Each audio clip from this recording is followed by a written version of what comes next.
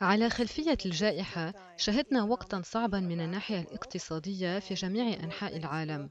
وفي تقرير التوقعات الاقتصادية العالمية للبنك الدولي والذي أصدرناه منذ بضعة أسابيع قمنا بتخفيض العديد من التوقعات عالميا. بالنسبة لمصر قمنا برفع توقعات النمو وتوقعنا نموا ب 5.5% لهذا العام والعام القادم وهو يفوق توقعات النمو العالمية.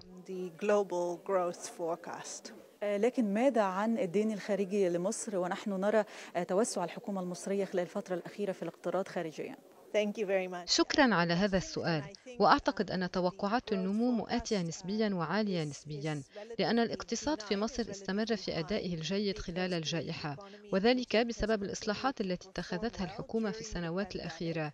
ونتيجة لهذه الإصلاحات تراجع الدين الخارجي لكنه لا يزال مرتفعا.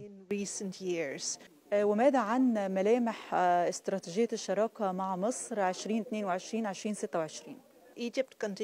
لا تزال مصر شريكا مهما جدا واستراتيجيا للبنك الدولي وبدأنا للتو مناقشة استراتيجية أطر العمل الجديدة لشراكات الدول على مدار خمس سنوات. ولا نزال نركز على بعض الموضوعات التي ستكون في غاية الأهمية بما في ذلك تعزيز القطاع الخاص لخلق الوظائف. كما سنستمر في التركيز بقوة على التنمية البشرية وعلى النمو المستدام حيث أصبح أكثر أهمية من قبل.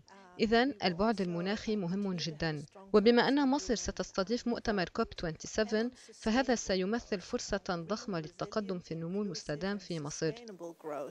وكم تقدر محفظة مصر من البنك الدولي خلال عام 2022 في الوقت الحالي لدينا حوالي 6 مليارات دولار في 15 مشروعا في مصر وسنستمر في هذه الشراكة في المستقبل.